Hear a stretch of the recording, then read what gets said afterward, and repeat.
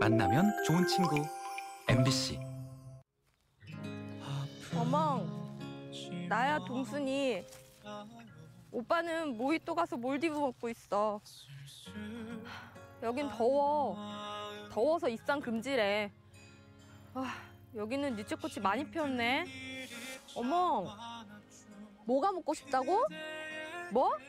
뭐, 뭐, 유기농? 뭐, 우리들의 블루? 우리들의 블루. 베리. 인류의 생존에 절대적으로 필요한 식량을 생산 공급하는 일, 농업입니다. 지구적으로 닥쳐오는 식량 위기, 자원 위기 속에서 우리 농업의 현주소를 알아보는 시간, 활기찬 농업, 신나는 농부. 오늘은 블루베리를 만나봅니다. 블루베리는 타임지가 선정한 10대 food 중 하나로 그만큼 몸에 좋다고 알려진 열매인데요. 충북 음성에서 화학적인 농약이나 비료를 전혀 사용하지 않고 열정을 다해 친환경으로 블루베리를 생산하는 농부가 있습니다. 신이 내린 선물 유기농 블루베리를 재배하는 신나는 농부를 만나러 갑니다. 활기찬 농업 신나는 농부. 안녕하세요 유미나입니다. 여러분 이거 보십시오. 우와 감동입니다. 우리 피디님이요 울고 계세요.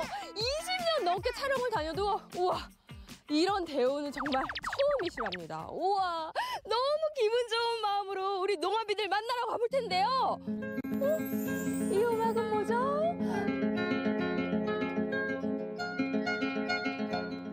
감미로운 음악이 울려 퍼지는 이곳은 대한민국의 중심, 충북 음성의 한 시골 마을인데요.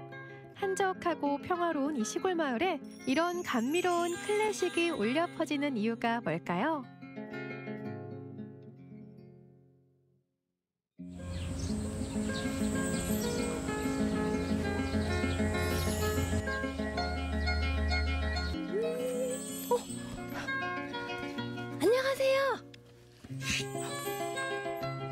조용하세요. 음악 감상 중이잖아요. 아 죄송해요 아 근데 음악이 너무 좋죠 브루베리가 음악을 너무 좋아하거든요.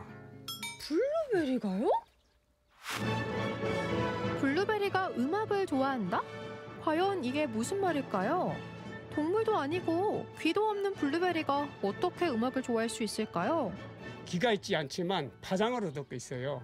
파장을 주면은 물질이 있는데 그거를 발생하면은 각종 병충해에 강해진답니다. 블루베리가 음악을 좋아한다니까요. 예. 제가 또 한 곡 뽑아보겠습니다. 제가 좀 노래 실력 하거든요. 종 맞은 것처럼 이렇게 가슴이 너무 아파 아 날 좀 내버려둬 잡았어 내버 내, 내, 알았어 내, 아, 알았어 알았어 알았어 안 부를게 아.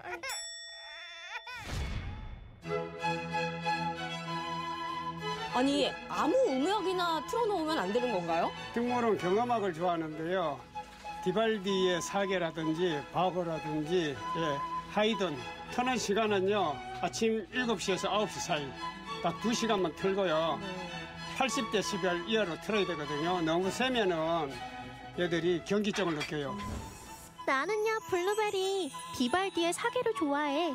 하루라도 음악을 듣지 않으면 열매에서 가시가 돋는다고 히히히히 음악을 들려주는 그린 음악 농법으로 블루베리를 재배하는 오늘의 주인공 권소정 농부는 조경일을 하다 은퇴 후 귀농을 했는데요.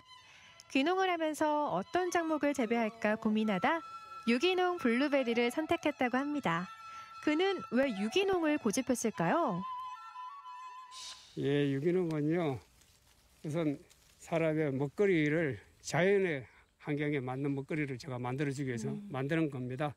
아 근데 제가 여러 군데 다녀봤는데 아우 이렇게 지저분한 밭은 처음이에요 제가 아우 잎을 다 뽑아드릴게요 아우 이게 뭐예요 아유 아이 지금 뭐 하는 거예요? 이게 이거 풀이 아니고 이게 잡초가 아니고 약초예요. 친환경 농법으로 하는 거예요. 이것이 제가 잘 몰라서 이렇게 유기농으로 작물을 재배하면 가장 골치 아픈 게 바로 제초 작업인데요. 제초제를 쓸 수 없기 때문에 아무렇게나 자라는 풀들로 애를 먹기 마련입니다. 권수동 농부는 비장의 무기를 활용하는데요. 그것은 바로 토끼. 별도의 제초 작업을 할 필요 없이 토끼들이 아무렇게나 자란 풀들을 정리해 준다고 하네요. 토끼는요 저희 농장에 아, 풀 종류가 한 25에서 35 가지가 있는데 그거를 거의 다 먹고요. 풀을 먹고 소화를 시켜가지고 대변을 놓게 되면 그게 발효 퇴비가 되는 거죠. 유기농 블루베리를 위한 비장의 무기가 또 있습니다. 어, 아니 이게 뭐예요? 이게 개껍질 끓인 거예요. 키토산 추출액이에요 이게. 와, 개껍질도 들어가요? 유기농업을 하기 위해서는 엄청난 열정과 정성이 필요한데요. 영덕에서 공수한 대게 껍데기를 끓여 추출액을 만들고 소나무를 끓인 물 등을 함께 배합해서 천연 약재를 만드는데요. 이렇게 만든 천연 약재를 점적 관수 방법으로 공급해 준답니다. 이런 정성과 노력으로 재배하는 유기농 블루베리랍니다. 권수덕 농부는 이 같은 다양한 노력으로 그 어렵다는 유기농 산물 인증도 받았는데요. 보통 우리가 옛날부터 그 재사용 같은 걸로 과일들을 사용하다 보니까 큰 과일들을 많이 요구를 했습니다. 근데 시대가 변하면서 중소형과를 찾으시는 분들도 많고요. 저희 유기농업 같은 경우는 그 양보다 그런 질적이나 기능성 성분들을 더 강조하기 때문에 그 유기농으로 생산된 그런 그 농산물들을 드시면 건강해지실 수 있다고 생각을 하시면 되겠습니다. 유기농으로 재배한 블루베리의 맛은 과연 어떨까요? 어머 어머 미나 리포터 그렇게 먹으면 안 되죠. 아니 뭐예요 여기서는 그 따자시면 안 되는 거예요. 여기서는 체험 직접 오셔가지고 자기 가져갈 만큼 따시고 딴 거 먹는 거예요. 이 농장에서는 일반 시민들도 수확 체험을 할 수 있다는데요. 유기농으로 재배한 블루베리를 땀 흘려서 직접 수확해 가져가는 단골 고객들도 굉장히 많다고 합니다. 이곳은 블루베리 선별장. 열심히 수확한 블루베리를 크기별로 선별하는 곳인데요. 이렇게 귀하게 키운 블루베리를 어떻게 판매를 하시나요? 예, 지인을 통해서 판매하기도 되고 온라인 쇼핑몰을 이용해서도 판매를 하고요. 또 로컬 푸드에 저희가 내기도 하고 체험 오시는 분은 훨씬 더 싸죠. 싸게 많이 따갈 수가 있어요. 앞으로의 좀 목표가 있으실까요? 제 제일 큰 소망은요. 전 국민이 원시적인 먹거리를 유기농으로 된 거를 드시고 건강하시면 좋고요. 아니 지금 뭐 하는 거예요? 아니 원시적으로 먹으라면서요. 타임지 선정 10대 푸드. 몸에 좋은 다양한 성분 때문에 신이 내린 선물이라 불리는 블루베리. 그것도 유기농 블루베리입니다. 여러분 드디어 우리들의 블루베리를 맛볼 시간입니다. 와! 여러분 이렇게 큰 블루베리 보셨나요? 제 콧구멍보다도 커요. 어머 뛰어. 우와, 500원짜리만 한데요? 진짜 크다. 오 이거요. 아니 너무 단데 이게 한 당도가 어떻게 되나요? 예, 15불 이상 나오거든요. 예. 이거는요, 음, 한 번에 다 먹을 수 있어요. 음. 그냥 먹어도 맛있는 블루베리. 냉장고에 하루 이상 놔두면 당도가 더욱 높아진다고 합니다. 블루베리는 냉동 보관도 가능한데요. 냉동된 블루베리 생과를 꺼내서 살짝 녹았을 때 먹으면 더욱 맛있게 드실 수 있답니다. 와 엄청나게 되시네요. 근데 제가 얼마나 먹었을까요? 한 5만 원어치는 자신 것 같은데요. 우리의 먹거리를 책임지며 농업 경쟁력을 높이는 충북의 농업인들이 있습니다. 귀농 후 유기농으로 블루베리를 재배하는 권수덕 농부는 블루베리를 위해서 음악도 들려주고 친환경적인 농업을 위해 토끼도 이용하며 화학 비료를 대신할 천연 비료로 직접 만들어 농사일을 합니다. 그런 열정으로 탄생한 블루베리. 유기농이라 좋다. 우리 몸에 더 좋다. 우리들의 블루. 베리 굿.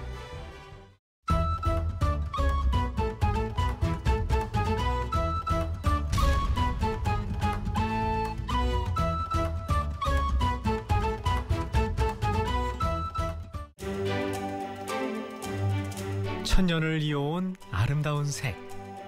우리나라의 사계절을 닮은 듯한 오색영롱한 빛.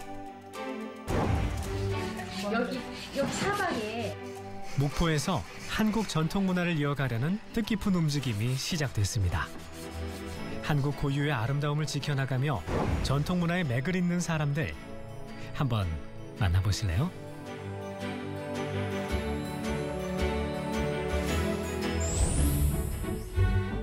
천년을 이어온 나전칠기의 명맥을 알기 위해 전국에서 몰려든 사람들 장인에게 교육을 받으며 자신만의 작품을 만들어 보는 목포 일주일 살기 프로그램 참가자들인데요. 이른 아침부터 작업장이 분주합니다. 이게 말 따라서 나전 칠인데 오칠하는 거하고 나전하고 합쳐서 하는 일주 intensive course예요.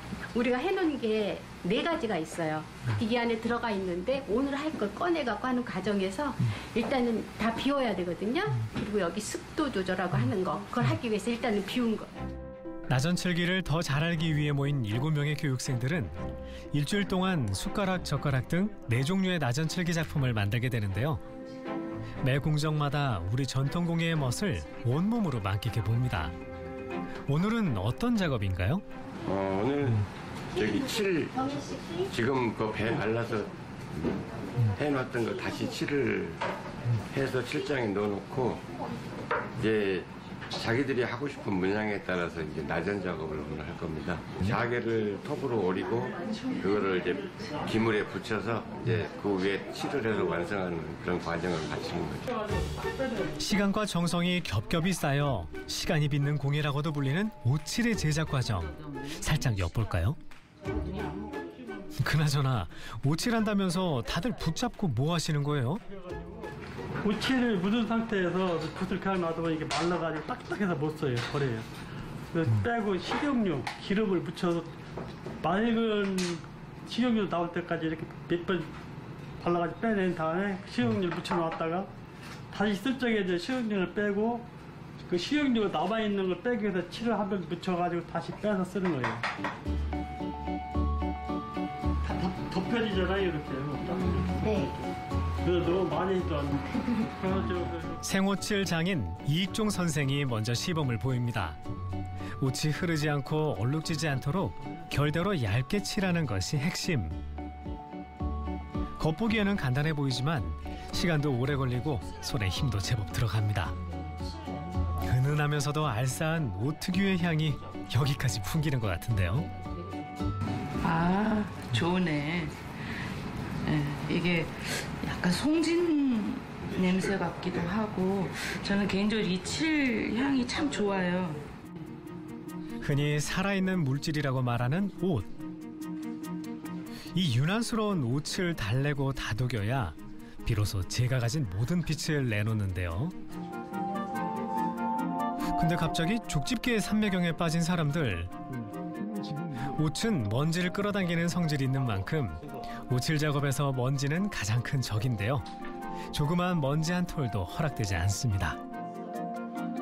오칠 일반적인 칠하고 오칠과는 약간 좀 차이점도 있을 것 같아요. 선생님 네. 느끼기에는 네. 어떤 점이 좀 있으세요? 저희가 주로 쓰는 게 오칠 아니면 유칠이라고 해서 기름칠을 하거든요.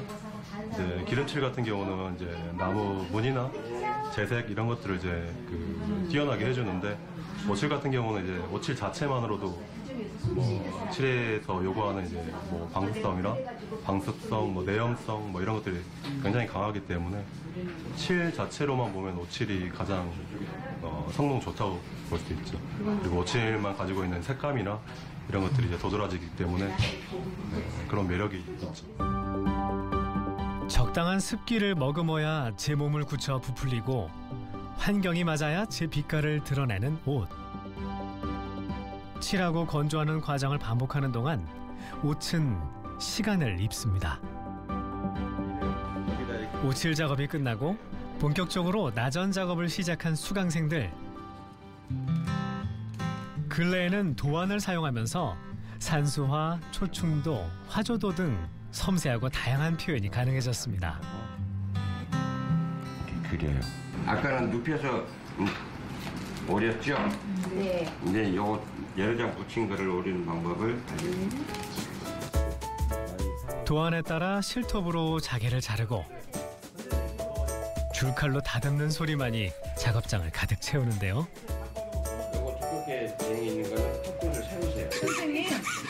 정교함과 세심함을 요하는 작업이 반복되어 결코 쉽지 않지만 배울수록 한국의 미에 더 관심이 생깁니다. 오칠도 배우고 나전도 배우고 목포도 알고 싶고 재미도 있고요. 이게 이제 조금 진도가 나가니까 섬세하고 조금 힘이 들어가는 과정도 있는데 재미있어요. 이런 거 하는 데가 우리나라에 많지 않거든요. 전통 문화에 관심은 있는데 일반인들이 이런 거 배우고 이러기가 쉽지가 않아요. 섬세한 손길로 자신만의 도안을 완성해가는 사람들. 아름답고 다양한 자개의 모양은 도안 작업에서부터 시작하는데요. 하나부터 열까지 섬세한 수작업의 연속입니다.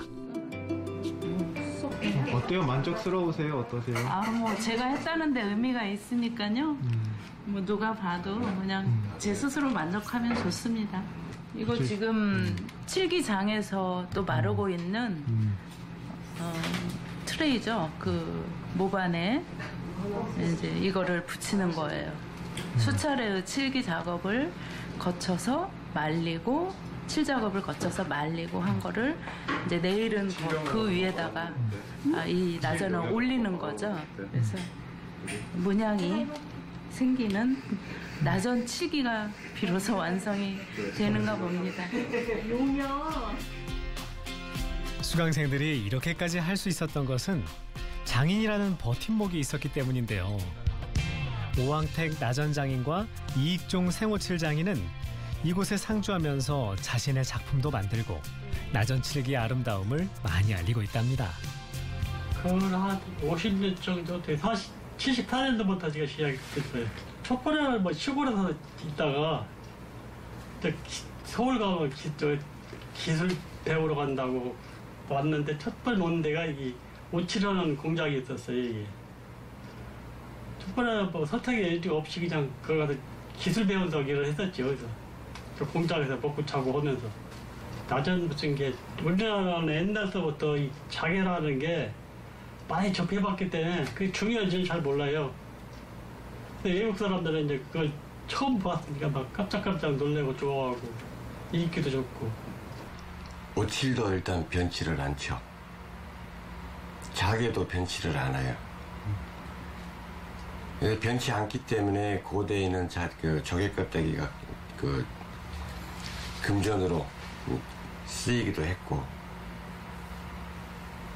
고려시대 경함이 낮은 칙의 타이틀을 가지고 천년을 이어온 게 이 낮은 실기가 오칠도 그렇고 자개도 그렇고 변치를 않기 때문에 천년을 유지하는 생명력을 가지고 있다는 거죠. 그렇기 때문에 낮은 실기의 매력은 변치를 않는 것이다. 값어치를 유지하고 있는 것이다.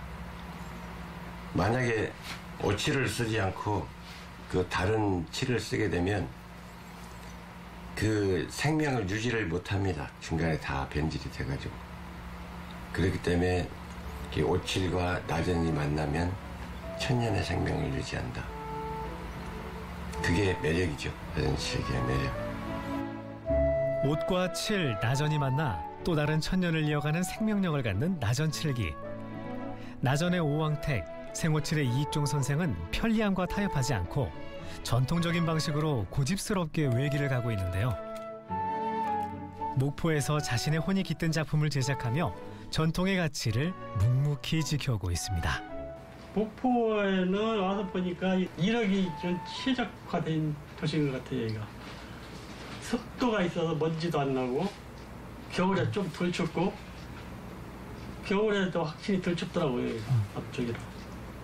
먼지가 덜 나고, 습도가 있어서 좀 시원하고, 공기도 좀 좋고,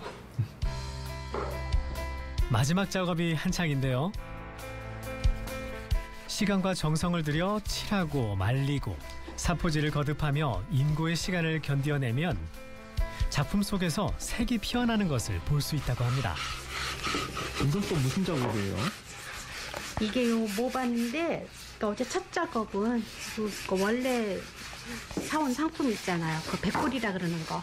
그거를 거기 칠해준 걸 다 벗겨서 벗긴 다음에 한번 칠해갖고 말린 거예요. 그래서 오늘은 두 번째 칠하기 위해서 첫 번째 거를 다시 사포질을 하는 거예요. 이제 그 다음에 두 번째 칠해서 넣고 그거를 네 번은 해야지 그 칠이 거의 연구화돼요. 오늘 두 번째. 그럼 아직도 두 번이나 남았네요. 네. 말린 다음에 다시 사포질하고 또 칠하고. 예향의 고장 목포에서 일주일 동안 머물며 보다 한국적인 우리 전통의 미를 온몸으로 느꼈던 수강생들. 장인의 발자취를 따라가며 그들의 예술 세계를 잠시나마 엿볼 수 있었는데요. 몇 번의 반복되는 과정과 인고의 시간을 보내며 시간이 빚은 예술은 어떻게 탄생했을까요? 바라보는 각도에 따라 달라지는 오색영롱한 무지갯빛. 옷을 입은 조개 껍데기가 꽃으로 피어나는 순간입니다. 작품 위로 수강생들의 미소가 번지는 것 같은데요. 세상 하나뿐인 나만의 작품 직접 만들어 보니 어떠셨어요? 특별했던 건두분 선생님이 이제 개인의 작업을 하고 계시는 와중에 이제 교육을 해주신 거라서 지금 오칠의 뭐 전통이나 이런 것들도 어, 얼마나 저희가 멀리 좀 느껴지잖아요. 근데 그런 것들을 가까이 이제 접하면서 어, 얼마나 그것들이 가치가 있는지를 실제로 저희가 알게 됐던 그런 좀 과정이었던 것 같아요. 앞으로 활동은 이제 여기 목포 내려왔으니까 저기 수강생들도 이제 계속 가르칠 거고 우리 전시도 할 거고 이제 여기 앞으로 목포의 이 나전치기 이런 게 자꾸 늘어나길 바라는 거죠, 저. 목포와 낮은치기 제가 이 목포에 내려온 지 얼마 되지 않았고 목포에 그 이렇게 자리를 잡고 앉은 게 처음이니까 잘안 맞고 생뚱맞을 수 있죠. 근데 이제 앞으로 문화는 어떻게 만들어 가느냐. 그게 이제 우리가 여기에 있는 목적이고 앞으로 이제 그런 일들을 위해서 노력들을 하겠죠. 그러면 어울리게 되겠죠. 목포와 낮은 시기가. 그렇게까지 만들어야 되지 않겠습니까? 전통의 맥을 잇기 위해 묵묵히 걸어가는 사람들이 있는 목포에서 나전 칠기가 화려하게 꽃피길 기대해 봅니다.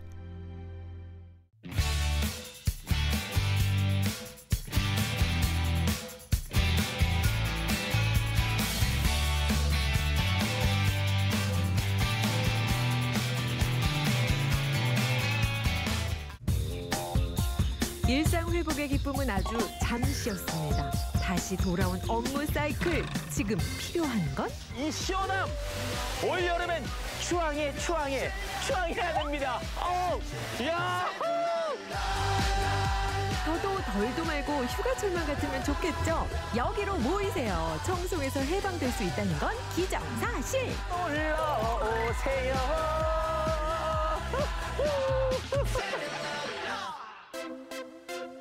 푸른 자연이 반겨주는 경북 청송. 해방되기 딱 좋은 곳이죠?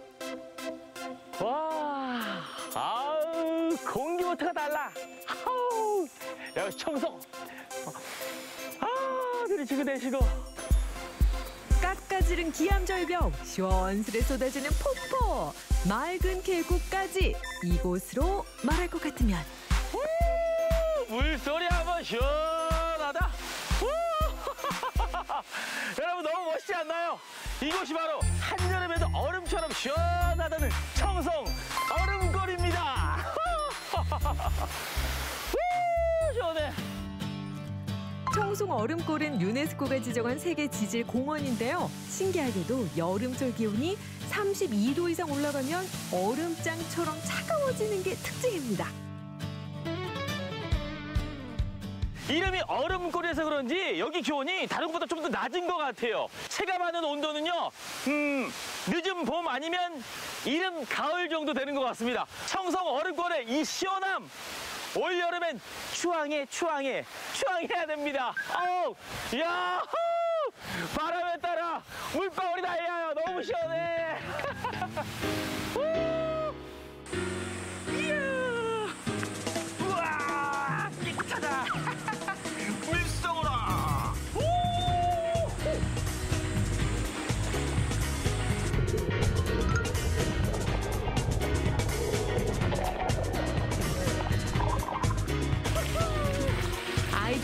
놀기에도 안성맞춤, 수면이 허리춤밖에 안 되니까 안심이라고요. 자연 캠핑도 오케이. 꿀잠이 절로 옵니다.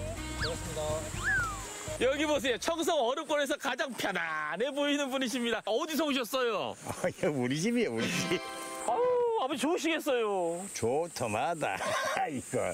여만 좀 좋은 데 없어. 저녁에 10시에, 10시까지 있을 사람이 없어. 뼈가 아파가 안 돼. 이불 두개 덮어서 안 된다가 이게네. 한여름에 뭐 열대 와면 더워서 잠을 못 잔다가 아니라 추워서 못 잔다고요? 가지고 10시까지, 11시까지 있는 사람이 없어. 아버지, 요거 기정사실? 기정사실을 하고도 남죠. 얼음골에 왔다면 놓칠 수 없는 명물이 하나 더 있는데요. 바로 약수입니다. 그리고 약수터 안에도 비밀이 숨어 있었으니 요 바위 사이에서 시원한 바람이 불어옵니다. 요 휴지가 흩날리는 거. 보세요. 가만히 있죠? 여기 날리죠? 호호! 이거 진짜예요, 진짜. 시원한 바람. 우와, 오, 시원해. 어우, 머리끝까지 그냥 시원한 바람이 솔솔 들어옵니다. 오, 어, 이제 춥다. 어, 이제 춥다, 추워. 이 여름에. 풍열과 함께 나온 약수 그 맛은 말 안 해도 기가 막히죠. 어우, 어우, 이 실력. 완전 얼음물이에요. 완전 얼음물. 오, 대박. 계곡이 있는 곳엔 숲이 있는 법.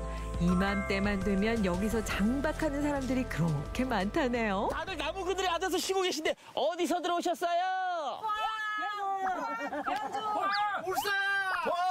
여기 오신 지 얼마나 되셨어요? 일주일 됐어요. 일주일 여기는요? 네, 어제 왔어요. 여, 여기는 어제 여기는 10일 됐어요. 열흘. 예. 아버지가 저도 좋긴 좋은데 아니 다른 데 안 가고 여기 콕 찾아오신 이유는 뭐예요? 여기요 해마다 오니까 너무너무 시원해가 다른 데 안 가고 왔어요. 여름엔 뭐니 뭐니 다 필요 없고 네네. 시원한 얼음골이 거. 제일이래. 시원하고 예, 최고. 예, 제일 시원해요. 거기다 무료라서 더 끌릴 수밖에 없다고요. 너무 좋네요. 너무 이 여름이 너무 시원해요. 가만 그런데 뭐가 하나 빠진 것 같지 않나요? 이 출출함, 이 허기짐. 그렇죠. 속을 안 채웠네요. 제가 아주 그냥 맛있는 집 알고 있습니다. 그냥 맛있는 집 아니고요. 건강하게 맛있는 집입니다. 가시죠. 아 근데 좀 더 있고 싶다 여기 너무 시원해가지고. 몸도 마음도 시원해졌다면 뱃속도 채워야겠죠? 경북 청송의 맛을 찾아 뽀글이 출기정이 출동합니다. 맛도 좋고 건강에도 좋은 음식이 넘쳐나는 청송. 그런데 제가 찾아온 곳은 맛집입니다. 그냥 맛집 아니고 농가 맛집. 사장님, 도대체 어떤 음식을 하는 어떤 맛집인가요? 네, 농가 맛집이라 농사 짓는 여성분들이 운영하는 쉽게 말해서 식당, 식재료를 거의 다 저희들이 직접 자가 생산한 것을 많이 활용합니다. 그래서 그 신선한 재료로 아주 건강한 밥상을 차려내는 농가 맛집이라고 할 수 있습니다. 다시 말해 청송의 건강함이 총집합했다 이 말씀이죠. 여기에 경북 아지매들의 야무진 손맛까지 더해집니다. 또 직접 만든 손두부는 안 먹고 못 베긴다네요. 와기한상 대령이요. 물놀이 후에 영양 보충 요것도 필수죠. 소개 좀 해주세요. 너무 푸짐해요. 아, 그래요. 두부는 저희들이 직접 농산 콩으로 만들었고요. 유기농 인정받은 야채와 함께 곁들여서 아주 건강한 두부 전골입니다. 밥도 건강밥이네요. 오색 빛깔 사과솥밥입니다. 이 밥상에 오게 티가 하나 있어요. 어, 오게 티요? 뭐죠? 농가 밥상에 파스타가 웬 말이냐, 웬 말이냐, 웬 말이냐. 잘못 올리셨네. 네, 웬 말이냐 잘못 올린 게 아니에요. 두부를 활용해서 만든 두부 파스타 아주 건강하고 담백하고 맛있습니다. 한번 드셔보세요. 오! 여기 농가 맛집은 두부 전문점. 퓨전 요리부터 구수한 시골 밥상까지 안 되는 것 빼곤 다 됩니다. 뽀글이 추기정도 영양 보충 제대로 했네요. 네. 기존의 제 입맛이 조미료에 길들여져 있었다면 입맛에서 따바바바바바바바 전원 땡땡 막 이런 느낌이에요. 어, 고향의 맛이 느껴지는 것 같아요. 경북 청송에서 해방해지는 건강한 맛으로 마무리.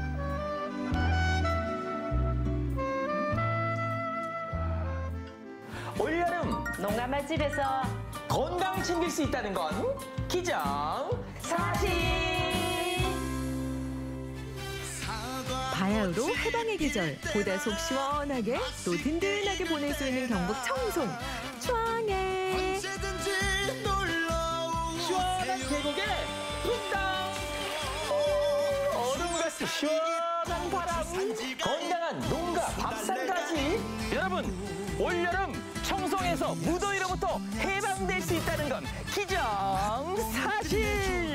여러분 청송으로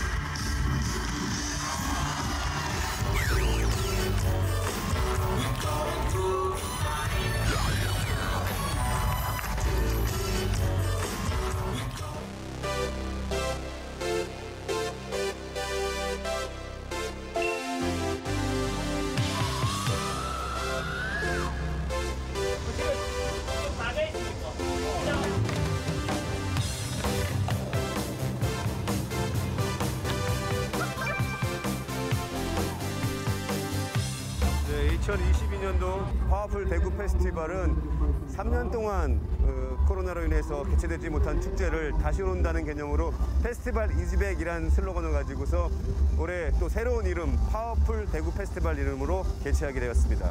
시민들에게 우선 이 광활한 거리를 축제 속에서 좀 걸어보게 했으면 하는 것들과 그리고 시민들이 직접 만드신 공연들, 퍼레이드를 가지고 이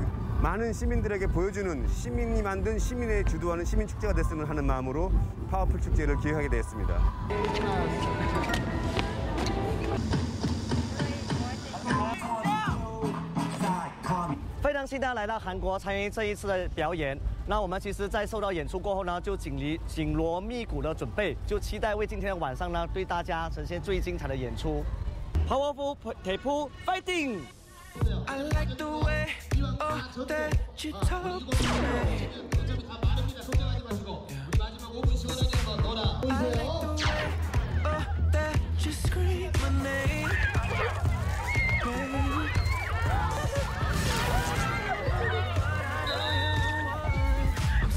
자 지금부터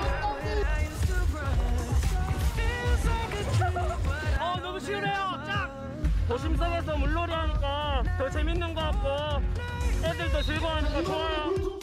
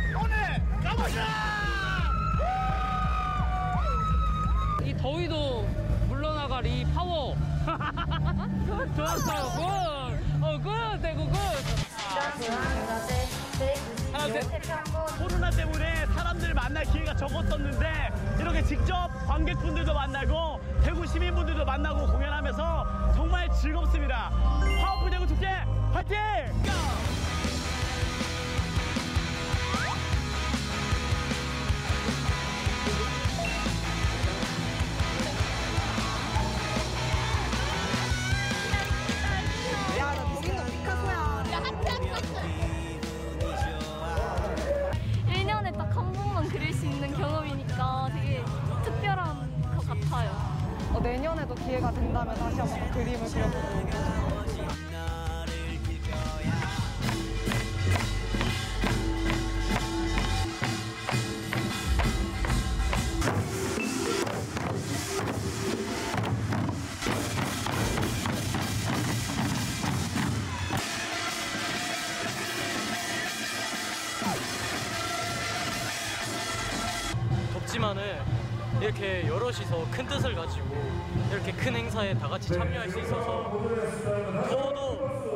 않게 힘이 났던 것 같습니다. 하나, 둘, 셋.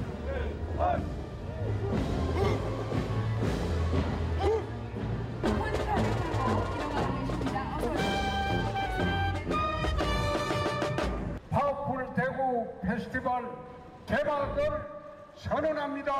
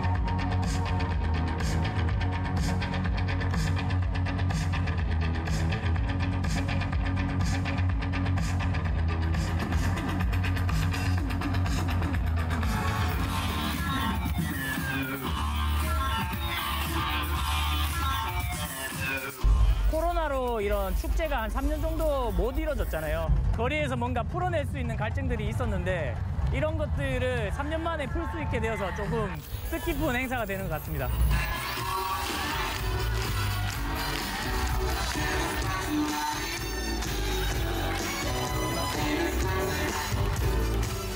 준비한 기간이 길었고 엄청 열심히 준비해왔고 이것도 다 손수 제작을 했거든요. 그래서 후회는 없습니다.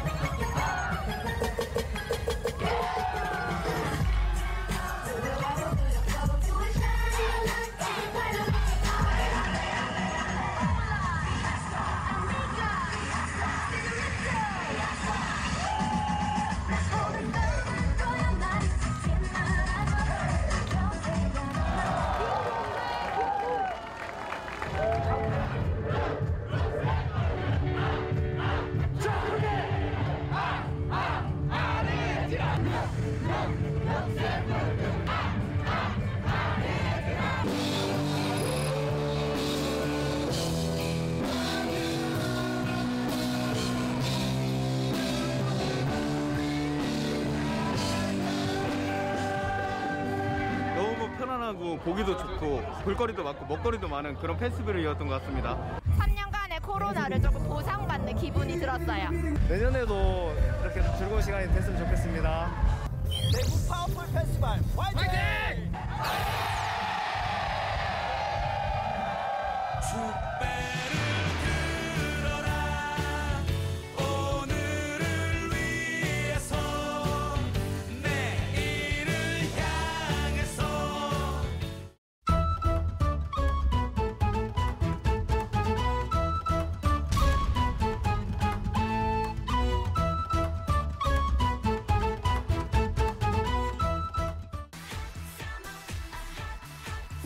더워도 너무 덥다. 낮에는 폭염, 밤에는 열대야로 찌는 무더위가 연일 기승을 부리는 요즘.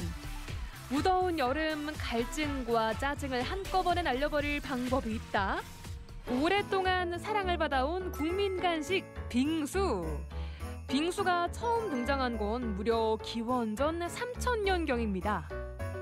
마르코 폴로가 저술한 동방견물록에는 베이징에서 즐겨 먹던 빙수 제조법을 베네치아로 가져갔다 기록돼 있는데요.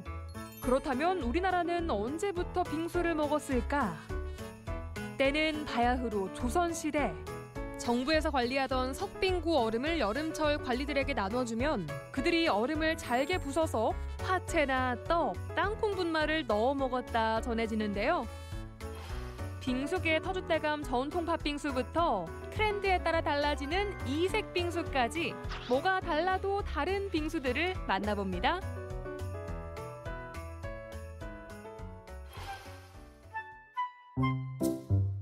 매년 빙수의 유행이 조금씩 바뀌어도 꾸준히 국민들의 사랑을 받고 있는 건 바로 전통 팥빙수입니다. 건강에 대한 관심이 높아지고 향수를 자극하는 감성 코드가 더해진 게 인기 비결인데요. 10대부터 많게는 80대 이렇게까지 오시고요. 찾으시는 분들이 식감도 좋고 많이 안 달다고 해서 저희는 그리고 옛날 빙수를 고집하다 보니까는 옛날 맛을 고수하다 보니까는 어 그래서 저희 가게를 좀 찾아주시는 것 같아요. 팥빙수의 맛을 좌우하는 건 적당히 달달하고 고소한 빙설과 부드럽게 넘어가는 팥, 그리고 쫄깃한 떡인데요. 최소한의 재료로 최상의 맛을 이끌어내는 것이 특징입니다. 그냥 더우니까 좀 시원한 음식을 많이 찾는 것 같은데 그 중에 아마 팥빙수가 제일이지 않나 싶습니다. 저는 일단 개인적으로 우유빙수 더 좋아하기도 하고 다른 거 없이 그냥 팥이랑 떡만 들어간 게 맛있어가지고 할아버지 할머니 신발 몰래 가져다가 아이스 깨끼라고 있어요. 그거 바꿔먹는 기억. 근데 그런 맛에 이제 그 추억을 되살리면은 지금 많이 진화됐죠 팥빙수가. 근데 여기는 부드럽고 좀 고소하면서 굉장히 좀 신선하죠 다른 데 비해서. 신선한 재료 덕분에 인기를 얻고 있다는 빙수집 여기도 있습니다. 새벽부터 농산물 도매시장에서 가져온 과일을 손질하느라 바쁜 사장님. 아니 그런데 아무리 둘러봐도 여기는 빙수집이라기보다는 과일 가게 아닌가요?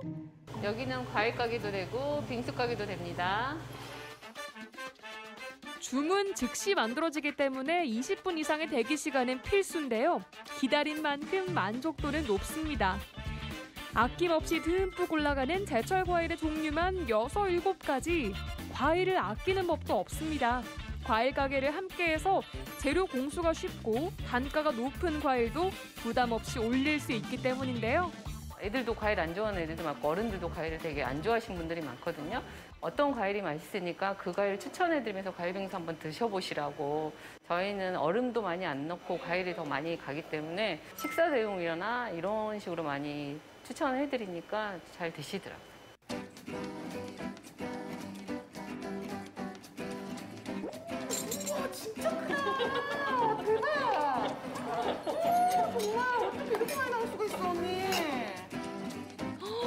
보자마자 감탄사 절로 나오는 과일 빙수.